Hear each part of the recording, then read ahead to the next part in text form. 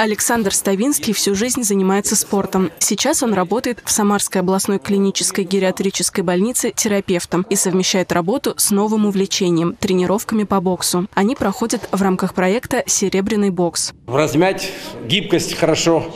Я люблю всякие гантели, там турники, брусья, ролики, велосипед, моноколесо, лыжи. А тут другие немножко упражнения, поэтому для разнообразия другие мышцы работают, другие суставы, гибкость тренируется. После 60-60 плюс это вот такие не тяжелые тренировки.